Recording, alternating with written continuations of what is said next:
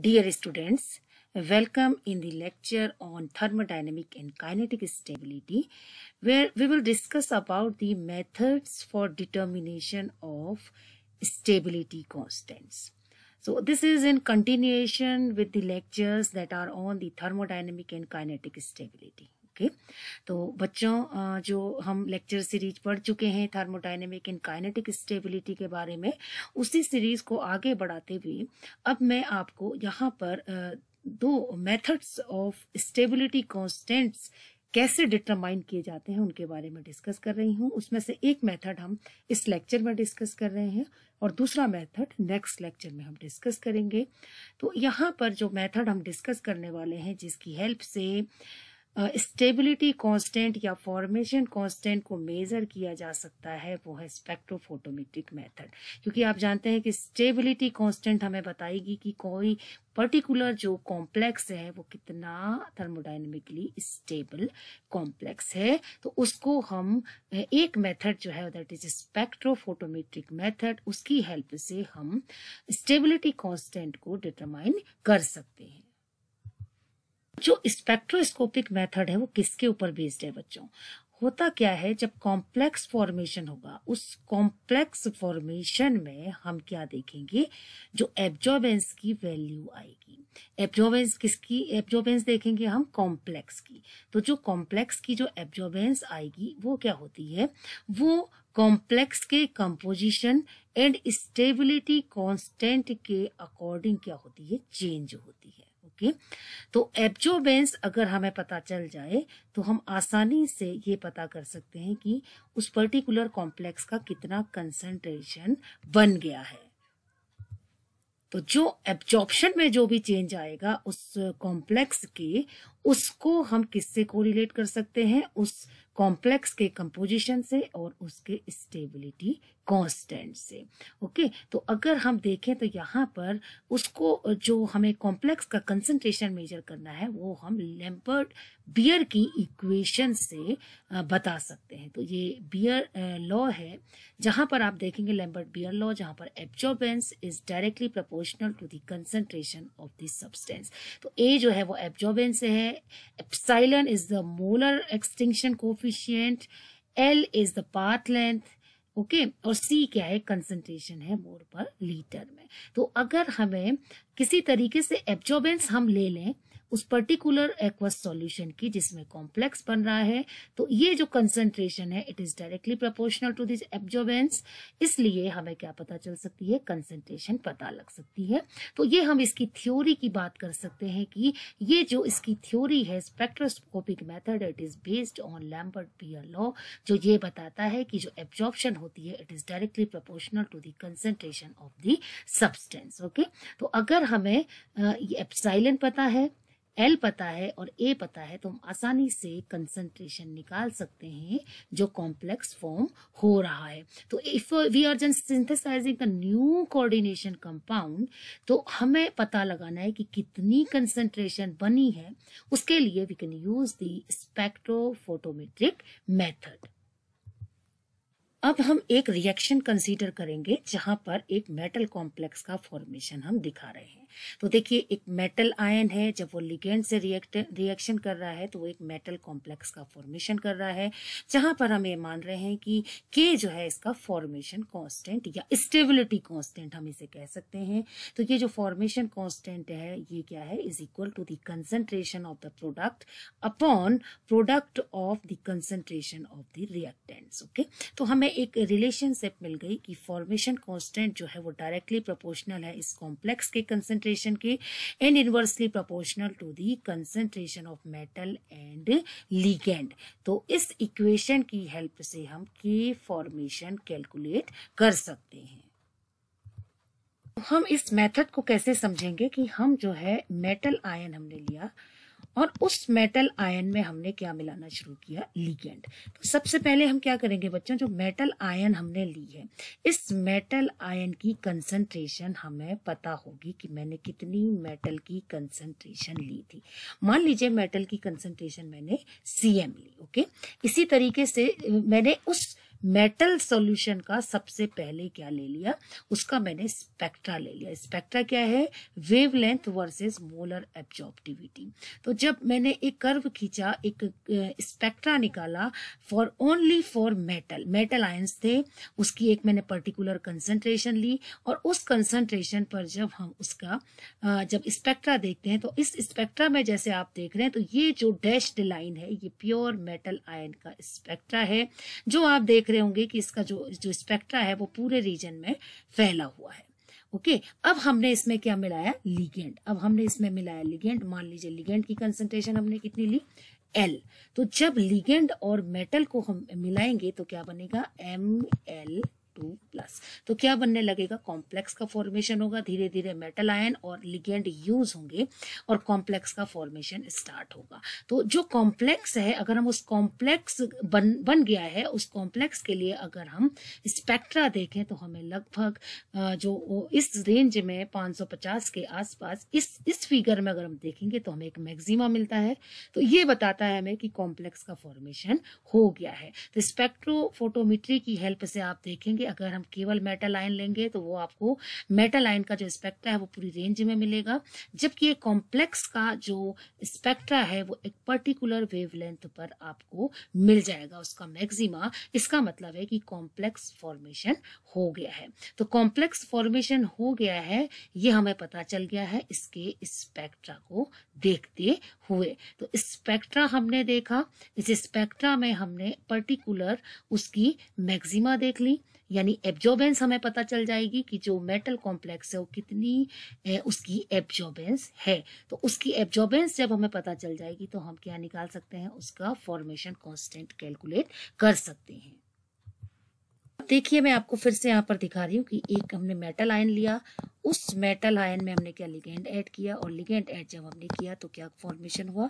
Metal complex का formation हुआ। Okay अब हमें ये पता है कि जो मेटल है, उसकी कंसंट्रेशन हमने कितनी ली थी? सी एम लिगेंड की कंसंट्रेशन हमने कितनी ली थी? सी एल ओके अब हमें ये पता लगाना है कि ये जो मेटल जो फॉर्मेशन हो रहा है, इसका फॉर्मेशन कॉन्स्टेंट क्या है?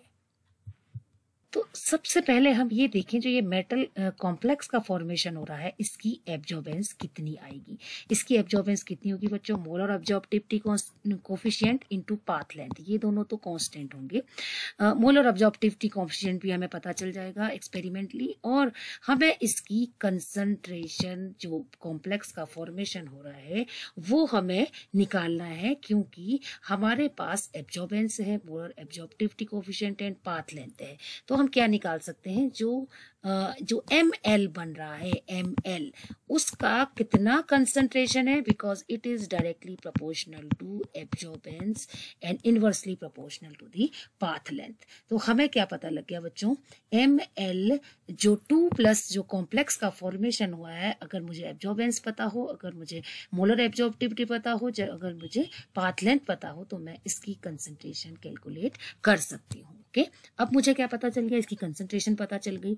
अब आप देखिए कि ये जो कंसंट्रेशन मैंने यूज़ किया था, यानी इतना कंसंट्रेशन मैंने मेटल लिया था अब इस कंसंट्रेशन में से कुछ तो मेटल ने एल से रिएक्ट कर लिया और क्या बना लिया? कॉम्प्लेक्स बना लिया और कुछ मेटल ऐसे ही उसमें रह सकता है।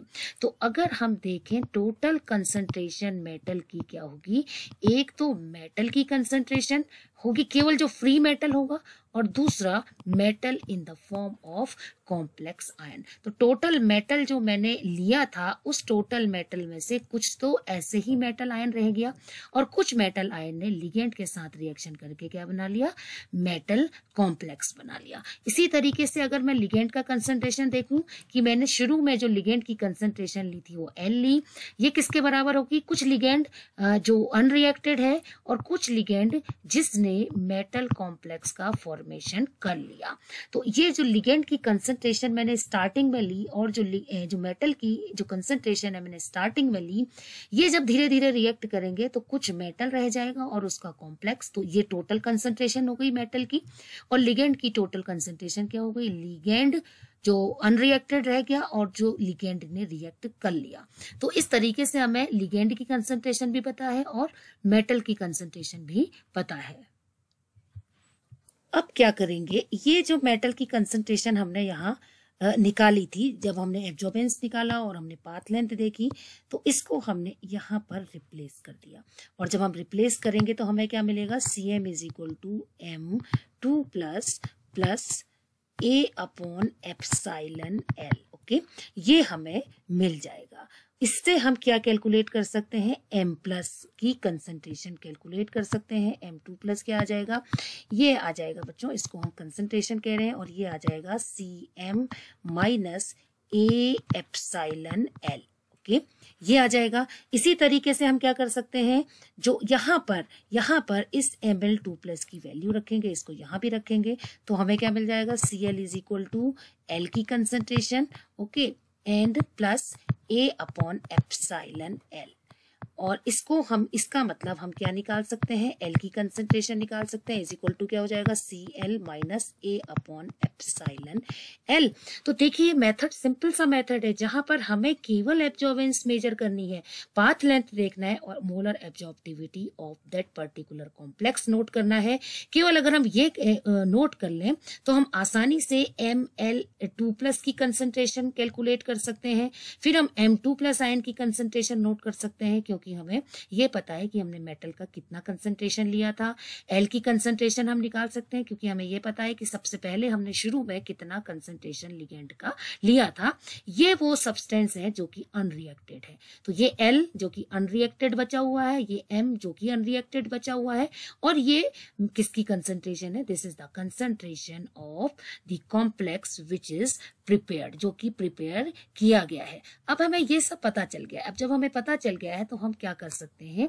हम आसानी से फॉर्मेशन कांस्टेंट को देख सकते हैं। कैसे देख सकते हैं बच्चों? क्योंकि हमने देखा था जो प्री फॉर्मेशन होता है, वो कितना होता है? वो होता है concentration of this complex complex का concentration upon product of the reactants concentration तो अगर आप देखेंगे तो रिएक्टेंट क्या थे?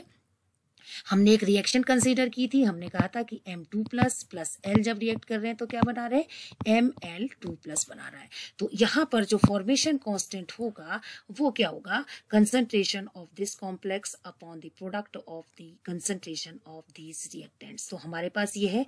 अब हमें क्या करना है कि ये वैल्यू यहाँ पर पुट करनी है। ये जो वैल्यू कैलकुलेट होके आएगी, देखिए ए अपॉन एफसाइल एल वो ये है।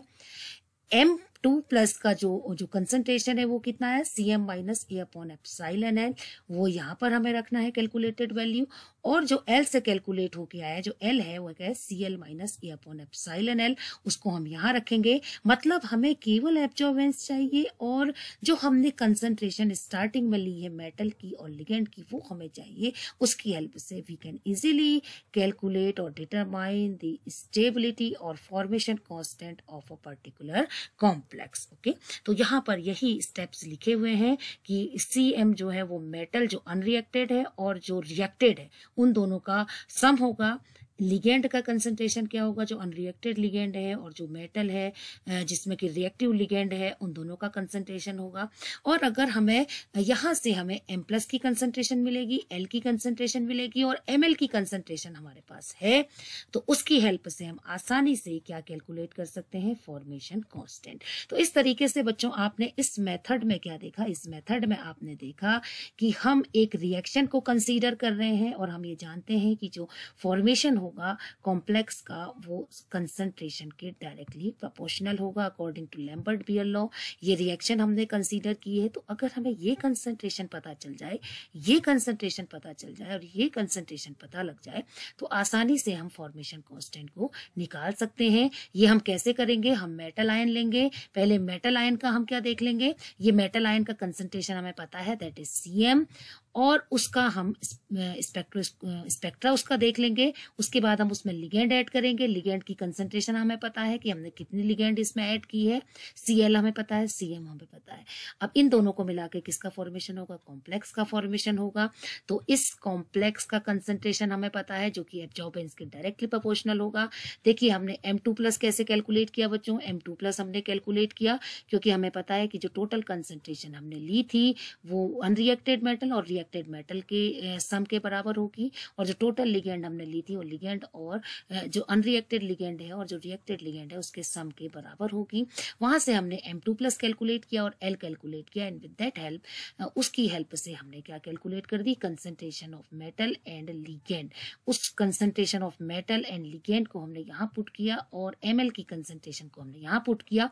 तो आप ये देख सकते हैं कि एब्जॉर्बेंस हमें चाहिए, हमें मोलर ऑब्जॉर्बिटी चाहिए, हमें हमें चाहिए पाथ लेंथ एंड हमें चाहिए concentration of metal and concentration of ligand and with the help of these datas we can easily calculate the formation of stability constant of constant of the of the of the complex which is going to be form तो हम आसानी से इन formulas की help से, हम आसानी से formation constant को कैलकुलेट कर सकते हैं। So this is all about this spectroscopic method जिसकी हेल्प से हम फॉर्मेशन कांस्टेंट को कैलकुलेट कर सकते हैं। In the next lecture, we will discuss about the TH-metry method, TH-metry, which is helpful in determining the stability constant. तो next lecture में हम पढ़ेंगे pH metry method के बारे में जिसकी help से हम formation constant को calculate कर सकते हैं. So, thank you very much.